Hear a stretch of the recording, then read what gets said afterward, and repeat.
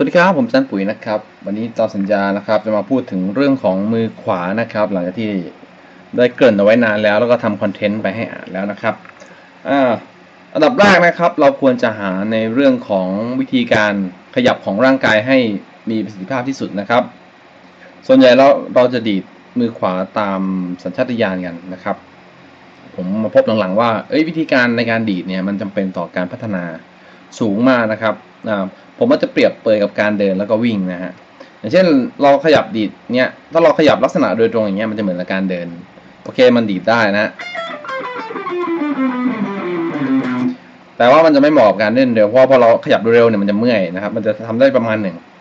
นะครับ ทีนี้เราวิธีการไหนที่จะเหมาะจากการเล่นเร็ว การเล่นเร็วมันจะเหมือนกับการวิ่งก็คือ เราจะต้องดูว่าถ้าข้อมือเราอยากให้มันแกว่งเร็วๆเนี่ย เราจะทำลักษณะแบบไหนนะครับ ก็ต้องเป็นลักษณะของวิธีการสลัดลักษณะประมาณนี้ฮะอ่าทีนี้พอเราสลัดเนี่ย เราก็ต้องดูว่าท่าในการสลัดมือเราเนี่ยอย่าไปคิดลึกนะ มันเหมือน มันเหมือนกับการแกว่งมือนะครับ เหมือนกับการพัดอะไรอย่างนี้ก็ได้ ถ้าถ้าบางคนได้ดูคลิปของโกเวนนะครับ เราจะเห็นว่าเขาจะเอาเอ่อไอเขาเรียกว่าอะไรวะบัตรนะฮะบัตรเติมเงินหรืออะไรก็ตามที่มันเป็นแผ่นๆเดี๋ยวผมจะลองหาดูนะครับ มา แล้วก็เอามาเหมือนแบบสลัดตีฮะอันนี้ก็ได้ฮะอันนี้ก็ได้ คือสลัดมือแล้วก็มีอะไรอยู่ในมือครับ แล้วก็ลองแกว่งดูทำให้มันเสถียรนะครับ แล้วก็นิ่งที่สุดนะครับ ไม่ต้องเร็วมากก็ได้ครับ แต่ว่าขอให้นิ่งเสถียรก็คือลักษณะการขยับเนี่ยเท่ากันหมด เท่ากันแล้วก็นานขึ้นนานขึ้นเรื่อยๆนะครับ ไม่ต้องเร็วมากนะฮะยังไม่ต้องเร็วมากเพราะว่ามันอยู่บนอากาศอยู่นะครับ แล้วก็อันนี้มันหนักกว่า pick เยอะนะฮะ คือพอพอเป็น pick แล้วมันจะสั้นใช่ไหมมันจะค่อนข้างแตกต่างกันนิดหน่อยนะครับลองจับเป็น pick ดูก็ได้ครับเดี๋ยวพอเป็น pick จริงมันจะขยับแค่นี้เองนะแล้วเราลองเลี้ยง pick ดูว่าอย่าให้มันแกว่งไปมานั่นแหละคือการควบคุม controlมันจะนิ่งละอ่ามันจะนิ่งละสั้นนิ่งที่สุดนะครับ อืม ก็คือนั่งแกว่งให้มันให้ควบคุมได้คนแบบว่าเป๋ไปเป๋มาเป๋ไปเป๋มาแมวนะฮะเอาให้มันนิ่งที่สุดก่อนนะครับ ทีนี้พอมาอยู่กับสายเนี่ย เราก็จะควบคุมในเรื่องของความรู้สึกในการดีด นั่นก็คือสัมผัสในการดีดกับสายกีตาร์นะครับ เพราะเวลาปิกที่มันแข็งเนี่ยกระทบกับสายที่มันแข็งด้วยเนี่ย มันจะเกิด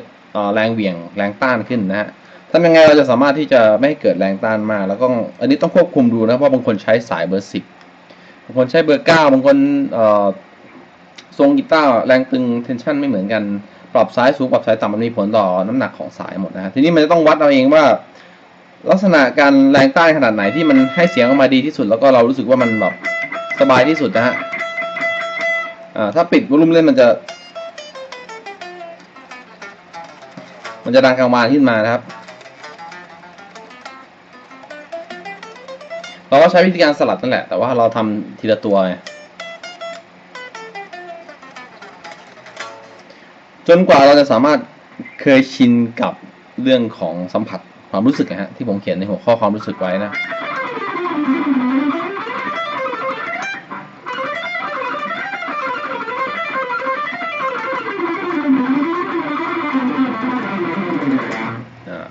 พอเราเคยชินปุ๊บทุกๆสายเนี่ยมันจะมีแรงต้านของมันอยู่ ตัวเราเองเนี่ยจะปรับน้ำหนักในการเล่นเนี่ยให้เท่ากันในทุกๆสายเองโดยธรรมชาติอยู่แล้วแล้วแต่ที่มันจะต้องเล่นจนกว่าเราจะสามารถควบคุมเรื่องของท่า เรื่องของแรงต้านเนี่ยให้เหมาะสมกับมือเราเอง วิธีการจับปิกของเรา แม้แม้กระทั่งรูปแบบของขนาดปิกปิกหลมปิกสั้นปิกบางแล้วพวกนี้มันจะมีแรงต้านของมันอยู่นะครับ แต่ร่างกายเนี่ยจะปรับเข้าหาความเหมาะสมของตัวเองเองนะครับ จุดนี้เป็นจุดที่เราต้องหาให้เจอก่อนในสองขั้นตอนแรกคือท่ากับแรงต้านนะครับนี้เราจะมาพูดถึงความแม่นยำหลายคนถามผมว่าทำไมมันจะดีดในแม่นยำคือพูดง่ายว่าสายเนี่ยมันมี หกสายถูกไหมฮะวิธีทิศทางการดีดเรามีลงกับขึ้น เพราะฉะนั้นถ้าอยากดีดลงมันก็ต้องอยู่ข้างบนของสายในแต่ละสายถูกไหมฮะเพราะฉะนั้นถ้าปิกเราอยู่ข้างบนสายของแต่ละสายเนี่ยเวลาเราดีดลงไปเนี่ยมันจะไม่มีการผิดพลาดนะฮะถ้าผมอยากดีดสายสามผมก็ต้องวางไว้บนสายสามแล้วก็ดีดนะครับ เพราะฉะนั้นเราอย่าดีดโดยที่เราไม่แน่ใจว่าปิกเราเนี่ยอยู่บนสายนั้นจริงหรือเปล่านะครับเพราะฉะนั้นมันต้องใช้สมาธิในการควบคุมพอสมควรเลยแต่ดีดสายห้าลงก็ต้องอยู่ ข้างบนใส่ห้าแล้วก็ดีลงไปนะใช้สี่สามสองหนึ่งนะ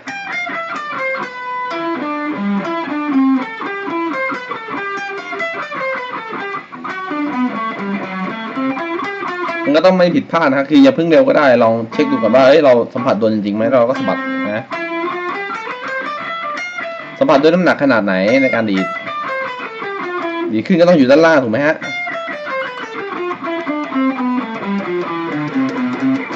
ดังนั้นดีสลับมันจะค่อนข้างสลับกันเร็วมากนะครับฉะนั้นแต่ข้างบนแต่ข้างล่างเราก็ตัดสินใจในการเล่นอย่างรวดเร็วนะครับ ทีนี้มันจะต้องฝึกช้าๆไงเพราะว่าการตัดสินใจมันจะค่อนข้างฉับไวเนี่ยปุ๊บปุ๊บปุ๊บปุ๊บปุ๊บ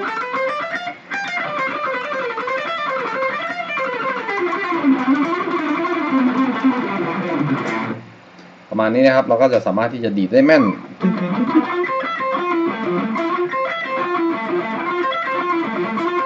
ข้ามสายไปมาสามเอ้ยหนึ่งสามห้าหกห้าหก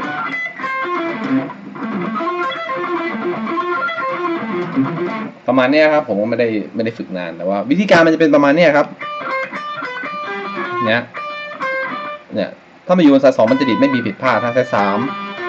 สี่ห้าหก ส่วนระยะเวลาในการฝึกแต่ละคนเนี่ยมันจะไม่เท่ากันนะครับ แต่วิธีการเนี่ยเหมือนกันนะฮะเราก็ฝึกเก็บความรู้สึกไปเรื่อยๆเหมือนเรา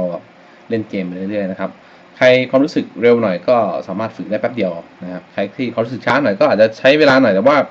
ถ้าเราเดินไปในทิศทางเดียวกันแล้วจุดหมายมันเป็นจุดเดียวกันแน่นอนนะครับบางคนอาจจะเดินช้าเดินเร็วต่างกัน ไม่ต้องไปซีเรียสนะครับ ควบคุมวิธีการก่อนอย่าให้ผิดพลาดนะครับต่อไปก็เรื่องของสัดส่วนนะครับ สัดส่วนสาวๆนะฮะยี่สี่สามสี่ อ๋อไม่ใช่นะครับ สัดส่วนโน้ตนะครับ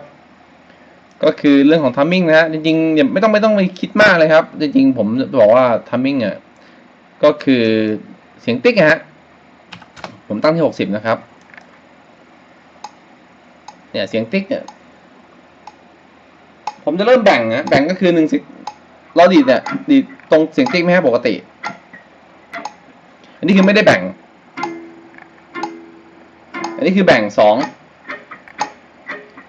ถ้าพูดตามลักษณะของอทฤษฎีก็คือเคยเป็นหนึ่งชั้นนะฮะ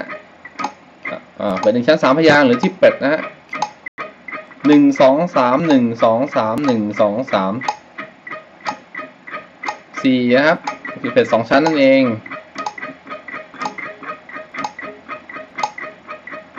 เป็นสองชั้นห้าพยางนะครับ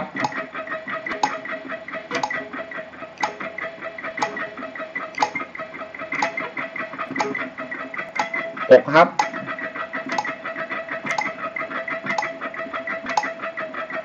เจ็ดนะครับ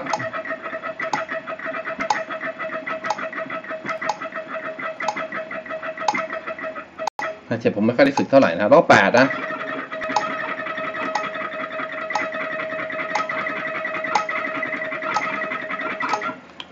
เจ็ดกับแปดผมไม่ค่อยได้ฝึกนะพูดตรงๆก็คือมันเร็วมากนะครับ ผมจะฝึกถึงแค่หกพยางค์ก็ใช้งานได้ละนะครับหรือว่าใครอยาก speed picking ก็ฝึกเจ็ดแปดไปเลยก็ได้นะครับ ทีนี้มันอยู่ที่ว่าลูกของมือซ้ายเรามันจะเล่นลูกไหนกันแน่ มันก็ต้องควบคุมพยางค์ให้ได้แบบเฉียบขาดนะครับ เพราะฉะนั้นอย่างน้อยมือขวาเราควรจะต้องสามารถที่จะแบ่งพยางค์ง่าย ๆนะครับ แล้วก็สลับไปมาได้อย่างสมบูรณ์แบบนะครับ มือขวาจริงๆหลักการก็จะประมาณนี้นะครับ ถ้าเกิดละเอียดจริงๆผมก็ต้องรบกวนให้ไปดูใน DVD นะครับกายภาพผมจะสอนมือขวาละเอียดมากนะครับ เรื่องของการควบคุมสมองอะไรพวกนี้แต่ว่าคร่าวๆเนี่ยเบสิกพื้นฐานของมือขวามันจะอยู่ประมาณนี้ครับ เราต้องหาในส่วนแรกก็คือท่าให้เจอก่อนนะครับ ผมนั่งเขย่าอยู่อย่างเงี้ยคืออะไรก็ได้ที่มันอยู่เนี่ยอย่างเช่นขับรถเนี่ยพวงมาลัยเนี่ยผมนั่งเคาะอย่างเงี้ยอย่างบางทีแบบนับพยางไปด้วยหนึ่งสองหนึ่งสองหนึ่งสองหนึ่งสองหนึ่งสามพยางสี่อะไรประมาณนี้ครับเบื้องต้นอาจจะฝึกถึงแค่สี่พยางก่อนนะครับ คือทำได้ตลอดนะฮะ ต่อไปก็คือควบคุมแรงต้านไว้ให้แต่ละสายเรามันอยู่ในเรียกว่าความรู้สึกตลอดเวลาว่าแรงต้านประมาณไหน ถึงจะสบายที่สุดเสียงดีที่สุดนะ